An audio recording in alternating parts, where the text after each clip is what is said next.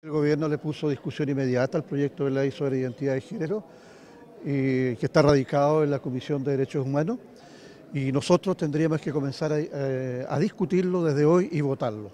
Votar en general y votar en particular. Acá también eh, hemos recibido ya eh, el, el parecer de muchas organizaciones, por lo que ya estaríamos en condiciones de poder eh, comenzar a discutirlo y aprobarlo en particular. Es un proyecto emblemático justamente del gobierno y vamos a comenzar hoy, eh, vamos a comenzar hoy día. Es un proyecto eh, que le interesa mucho al gobierno, le interesa mucho también a la ciudadanía y tenemos que empezar a votarlo en el día de hoy.